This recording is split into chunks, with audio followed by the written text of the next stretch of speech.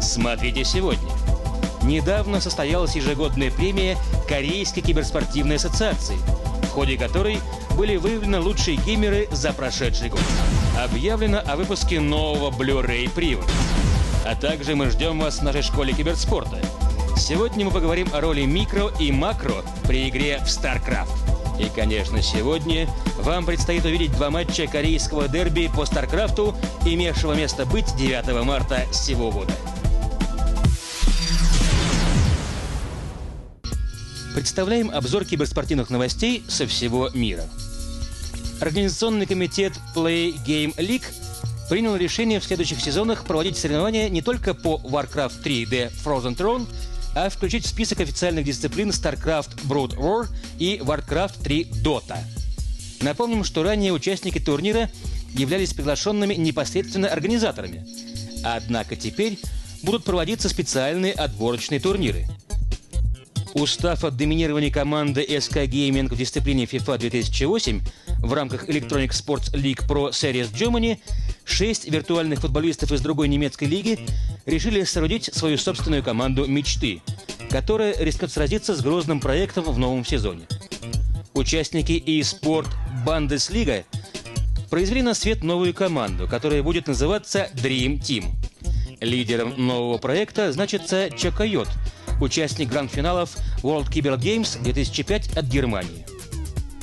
Состоялась ежегодная премия Корейской киберспортивной ассоциации – ходе которой были выявлены лучшие геймеры за прошедший год. Это своего рода Оскар для корейских прогеймеров. Всего было вручено 16 премий. Рекордсменом стал Бай Флэш, который победил в номинациях «Дебют года», «Тиран года» и «Самый титулованный игрок года». Игрой года стала Special Force. Финский эльф Сатини, недавно покинувший стан команды Poker Room из-за своего недуга, боязни больших и открытых пространств, присоединился к польскому проекту PGS Poker Stratify.com. Вступив в ряды PGS, Сатини поблагодарил команду за приглашение, а также обещал стремиться еще больше тренироваться. Добро пожаловать в школу виртуального спорта. Сегодня мы поговорим о роли микро и макро при игре в StarCraft.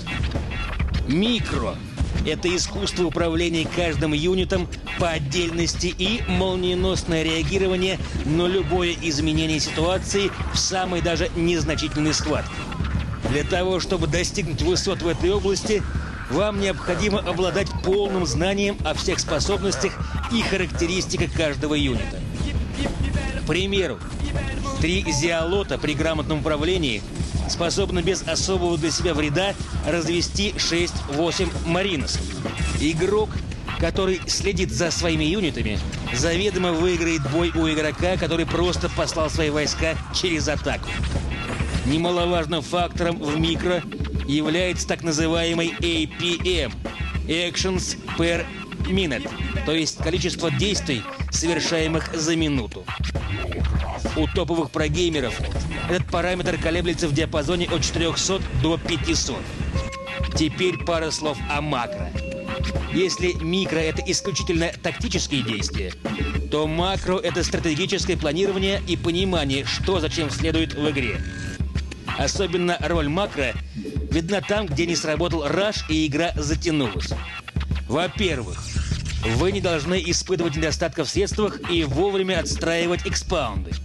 И во-вторых, все добытые ресурсы должны тут же уходить на новые здания или заказ новых юнитов.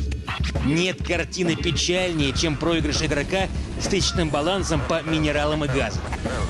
Итак, подведем итог. Если свой микро можно отточить, тренируя реакцию и штудируя тактико-технические характеристики юнитов, то понимание макро приходит лишь с опытом и, естественно, с наблюдением за более именитыми противниками. Мы — виртуальная школа. Учитесь на пятерке, пока бесплатно. Разойдись. Смотрите далее. Новая укороченная клавиатура с подсветкой. Конечно, сегодня вам предстоит увидеть два матча корейского дерби по Старкрафту, имевшего место быть 9 марта сего года. представляем обзор киберспортивных девайсов. Компания Zotac одновременно с официальным релизом новейшего чипсета NVIDIA Enforce 790i объявила о выводе на рынок собственной материнской платы. Она ориентирована в первую очередь на самых взыскательных пользователей из числа фанатичных обожателей современных 3D-игр. Компания Sven представляет укороченную клавиатуру с подсветкой. Дополнительных кнопок в данной клавиатуре всего 13. Стоит отдать должное инженерам компании.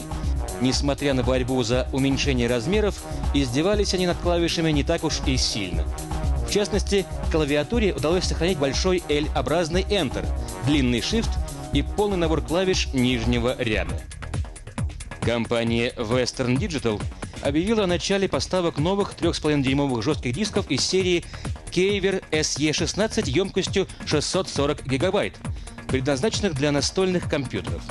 Главной особенностью накопителей является наличие всего двух 320-гигабайтных пластин с перпендикулярной магнитной записью, в то время как в основе большинства конкурирующих решений лежат пластины емкостью 250 гигабайт.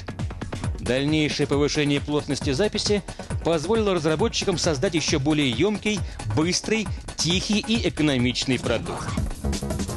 Компания A-Open выпустила Blu-ray привод. Новинка умеет читать Blu-ray диски на четвертой скорости. К компьютеру привод подключается с помощью сериал АТА. Передняя панель сменная, черная, белая и серебристая. Масса 800 граммов. Средняя цена в России составит приблизительно 5000 рублей.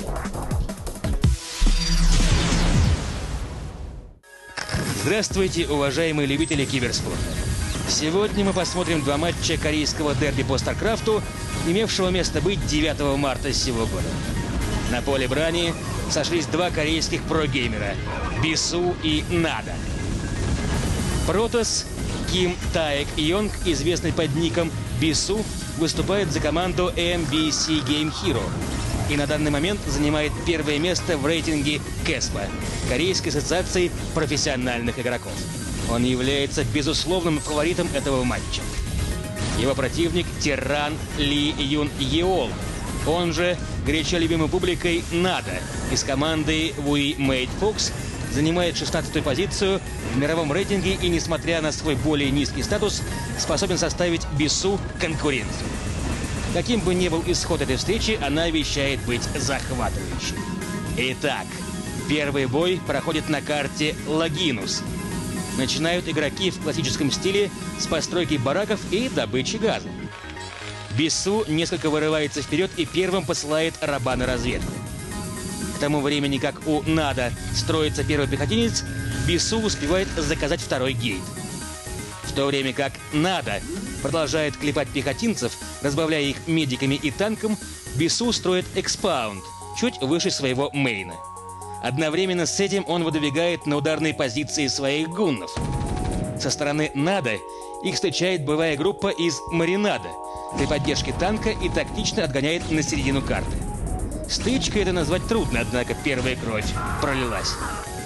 Нада запускает экспаунд, что не укрывается от взора вездесущей пробки Бису. Ее тут же подрывает Вультура Нада.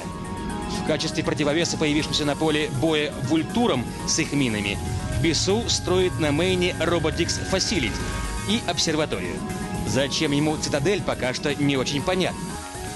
Надо тем временем достраивает вторую фабрику – Судя по затишью, игроки уповают на один решительный бой, который определит победителя в этой партии.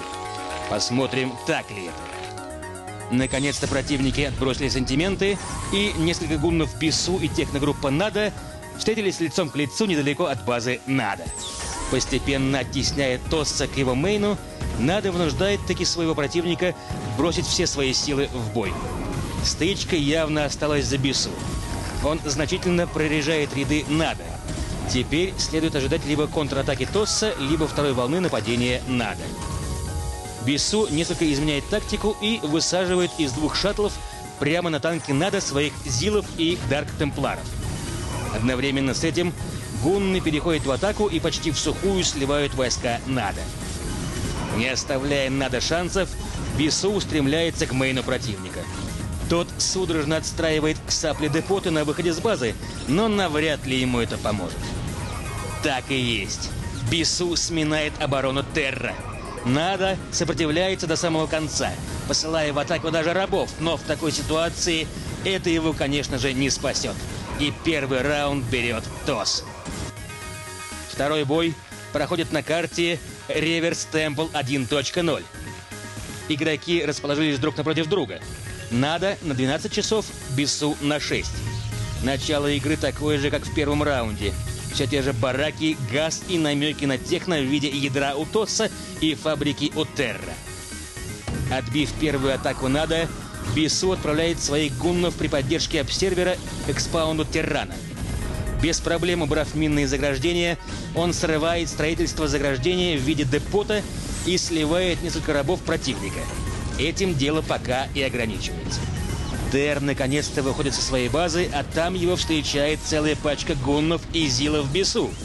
Тос без проблем сливает войска Нада и, увлекшись атакой, проходит на Эксп Терра. Однако сил наступающих явно недостаточно, и это пока что не победа. И вот на сцену выходит главный козырь Бесу – пять авианосцев. В такой ситуации надо трудно что-либо противопоставить. Видимо, это начало конца.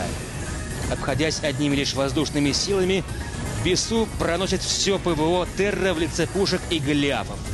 А под занавес раунда дожимает Надо своей наземной группировкой. Счет по партии становится 2-0 в пользу Бису. Ну что же, Бису в очередной раз доказал, что не зря носит лавры первого прогеймера мира в дисциплине StarCraft. Надо же пожелаем вынести из этой встречи уроки и будем надеяться, рано или поздно он возьмет реванш.